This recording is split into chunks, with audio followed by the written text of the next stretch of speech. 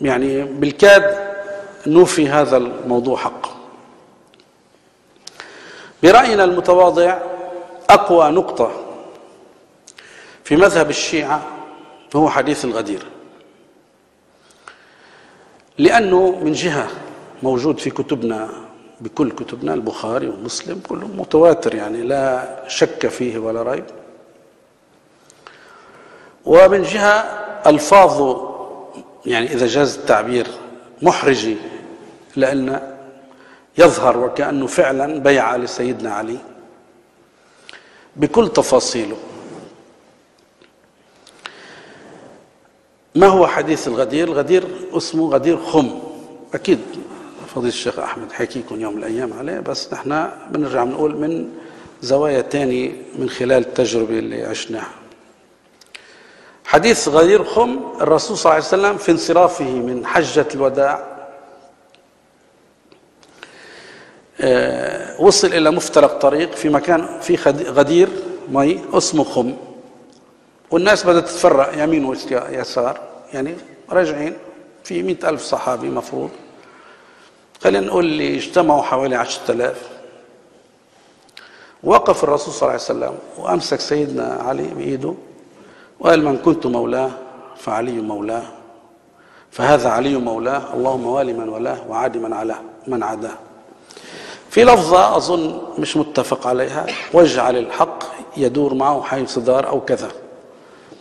هاي اللفظة مش متفق على روايتها بين السنة والشيعة. بس اللهم من كنت مولاه فهذا علي مولاه اللهم والي من ولاه وعادي من عداه يعني متواترة بالحد الأدنى. صحتها إذا ما أذكر إذا كان تعتبر متواترة بالمعنى بالحد الأدنى مستفيض. يعني حديث صحيح لا ينكره أحد من علمائنا على الإطلاق. فقوته أنه بعد حجة الوداع اللي من بعد الرسول صلى الله عليه وسلم بحوالي بأشهر 18 شهر تقريبا توفي يعني كأنه وداع واسمه حجة الوداع وقال لعلي لا ألقاكم بعد عام هذا وكذا. بعدين الموضوع الخطبة لم يكن فيها إلا هذا الموضوع. مش مرق على مواضيع وقال لهم هذا علي مولاه بس. ورجع الناس وكذا. فبيظهر كأنه وصية من الرسول صلى الله عليه وسلم. وسيدنا عمر رضوان الله عليه اجى وهناه لسيدنا علي وقال بخ بخ يا علي أصبحت ولي وولي كل مؤمن. بخ بخ. بتصور أنا هي نفس اللفظة اللي بنستعملها نحن لما بيعجبنا شيء هلأ بطلت مستعملة يمكن هلأ بس كان بدنا نستعملها. لما تشوف شغلة حلوة سيارة بش بش. هي نفسها. بس هذه بالعامة هذيك بالفصحى. بخ بخ. قال له بخ بخ يا علي. أصبحت ولي ولي كل مؤمن.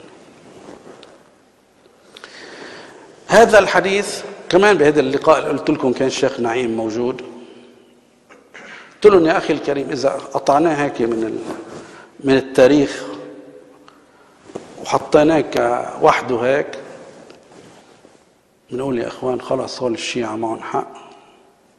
خلينا نعمل شيعة وخلاص الرسول وصى بالخلافة اللي عليه والصحابة استغفر الله يعني زعبروا وكذا. انتهى اللهم صل على محمد